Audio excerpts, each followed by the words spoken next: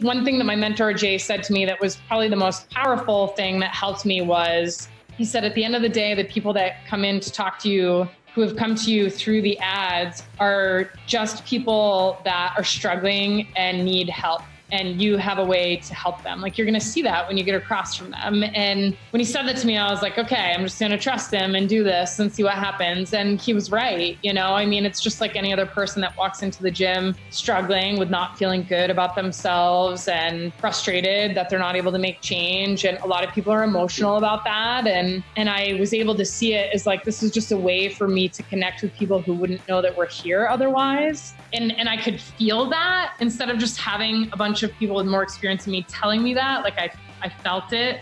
So that was awesome. So now I'm a believer and I'm over it and uh, really excited to keep seeing what's going to happen with it all.